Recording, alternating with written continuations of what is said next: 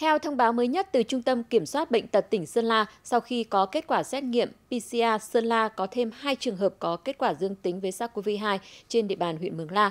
Cụ thể là bệnh nhân mã 979330, sinh năm 2000 và bệnh nhân có mã 979331, sinh năm 2001.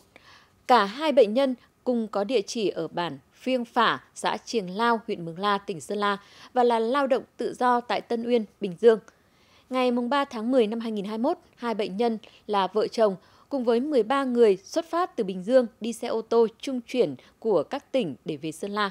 Khoảng 15 giờ ngày 6 tháng 10 năm 2021 về đến chốt Vân Hồ thực hiện khai báo y tế và được test nhanh kháng nguyên, kết quả âm tính với SARS-CoV-2, sau đó được chuyển vào khu cách ly tập trung của huyện tại xã Trường Lao, huyện Mường La. Sức khỏe hiện tại của cả hai bệnh nhân có sốt nhẹ, không ho, không khó thở, đã đưa vào khu điều trị F0 huyện Mường La. Bệnh viện Đa khoa huyện Mường La mới. Đây là những trường hợp dương tính mới được phát hiện trong khu cách ly nên nguy cơ lây nhiễm cho cộng đồng là rất thấp.